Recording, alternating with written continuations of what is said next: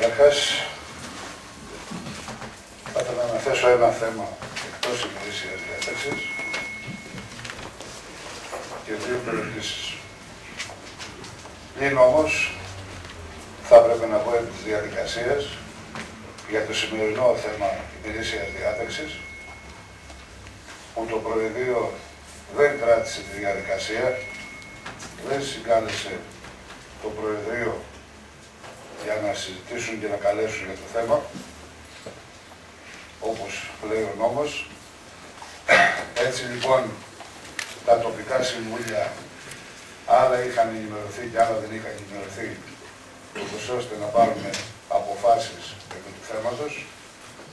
Πρακτικογράφος δεν υπήρχε στα περισσότερα τοπικά συμβούλια, με αποτέλεσμα σήμερα, από ό,τι είδα, τα περισσότερα να είναι χειρόγραφα οι προτάσεις δηλαδή, των τοπικών συμβουλίων και θα ήθελα να παρακαλέσω το Προεδρείο να μην επικαλεστεί